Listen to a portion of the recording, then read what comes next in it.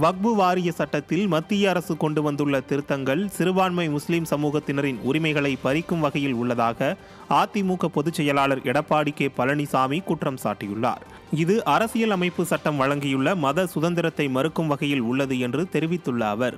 முஸ்லிம்களின் நலனுக்காக முஸ்லிம்களால் அர்ப்பணிக்கப்பட்ட சொத்துக்களை அவர்களிடமிருந்து பறித்து நிர்வகிக்க நினைப்பது தவறானது என்று சாடியுள்ளார்.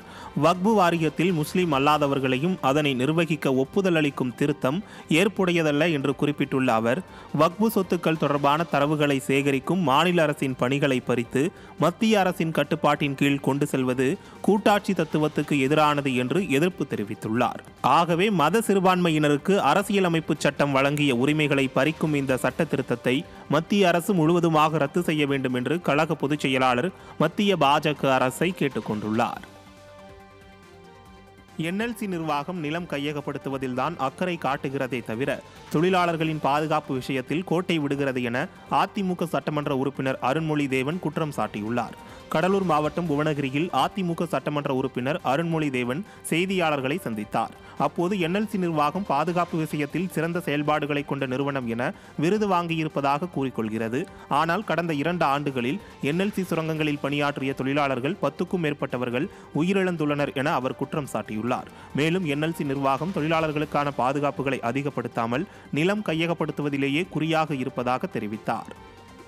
இரண்டு ஆண்டுகளை மட்டுமே பத்துக்கும் மேற்பட்ட தொழிலாளிகள் இறந்திருக்கிறார்கள்.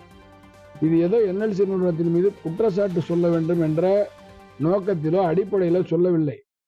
தொழிலாளிகளுடைய உயிருக்கு பாதுகாப்பு வேண்டும். என்எல்சி நிறுவனம் நில எடுப்பில காட்டுகின்ற அக்கறையை தொழிலாளருடைய உயிர் மேலே காட்ட வேண்டும். உரிய பாதுகாப்பு நடவடிக்கை இருந்தால் அந்த அவருடைய உயிர் பறிபோகாது. வெறும் முப்பது லட்சம் கொடுக்குறாங்க. வேலை வாய்ப்புன்னு சொல்றாங்க. அதுக்கும் போராட வேண்டியதா இருக்குது. நீலகிரி மாவட்டம் கூடலூர் அருகே கோகால் பகுதியில் வீடுகளில் விரிசல்கள் ஏற்பட்டு மண்ணில் புதைவதற்கான காரணம் குறித்து புவியியல் வல்லுநர்கள் அதிநவீன ஜிபிஎஸ் தொழில்நுட்ப கருவிகளை கொண்டு இரண்டாவது நாளாக ஆய்வு மேற்கொண்டனர். மண்ணின் தன்மை மற்றும் பூமியினுள் செல்லும் நீரோட்டம் ஆகியவை குறித்து ஆய்வு மேற்கொண்டு வரும் அதிகாரிகள் தொடர்ந்து பதினைந்து நாட்கள் ஆய்வு மேற்கொள்ள உள்ளனர். இதற்காக அங்குள்ள மக்களை இடம்பெயருமாறு அதிகாரிகள் சொன்னதால் எங்கு செல்வதென தெரியாமல் தவித்து வருகின்றனர். விடியா அரசு பாதிக்கப்பட்ட மக்களுக்கு மாற்று இடமும் வீடும் கட்டித்தர வேண்டுமென கோரிக்கை எழுந்துள்ளது.